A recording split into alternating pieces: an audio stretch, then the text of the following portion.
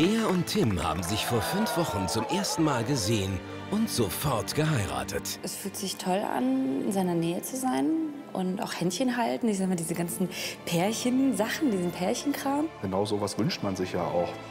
Nach der ersten Verliebtheit kamen im Alltag auch die ersten Schwierigkeiten. Muss ich mit der Katze und dem Bügeleisen was beachten? Das eine ist eine Katze, das andere ein Bügeleisen. Das hat mich schon ein bisschen zur Weißglut gebracht. Auf der einen Seite spüre ich total stark, dass äh, ihnen wichtig ist, dass Tim sich einbringt. Auf der anderen Seite glaube ich, ist es auch ein bisschen schwierig, es ihnen so recht zu machen. Ich glaube, das war ein sehr großer Aha-Effekt. Die Wogen haben sich geglättet. Bea und Tim wagen den nächsten Schritt in ihrem Leben als Ehepaar. Wir hier sind jetzt hier zum Grillen mit Beas Familie. Ähm, ich freue mich darauf. Habe von der Hochzeit ja einen unglaublich positiven Eindruck und bin deshalb auch fast gar nicht nervös. Hallo!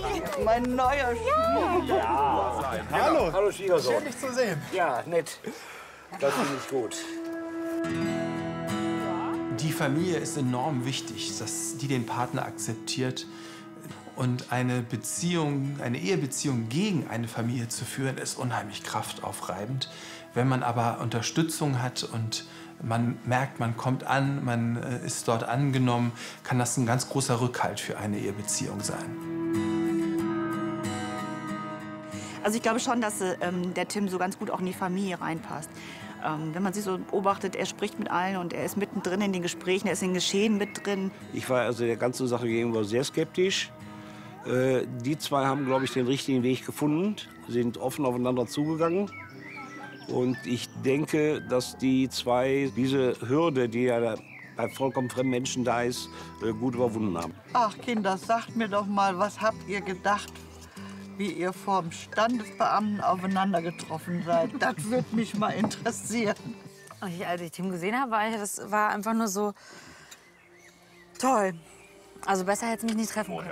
Und ja, bei mir war, ich habe das immer gesagt, ich hoffe einfach, dass sie nicht irgendwie sich erschreckt oder rausrennt oder also dass sie einfach lächelt. Das Dass war sie da bleibt. Nee, nein, das noch nicht mal, aber dass sie lächelt war so das Mhm. Wichtigste.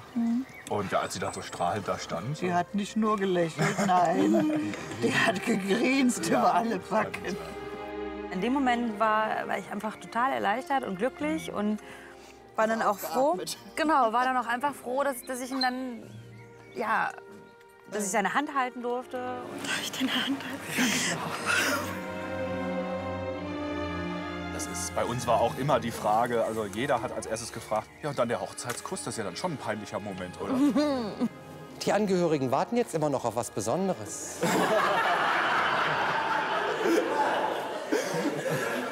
Wange, Mund. Ich hätte da schon eigentlich einen richtigen Hochzeitskuss gemacht, aber habe dann wirklich gedacht, du kennst die Frau jetzt zehn Minuten. Also das kannst du jetzt nicht bringen.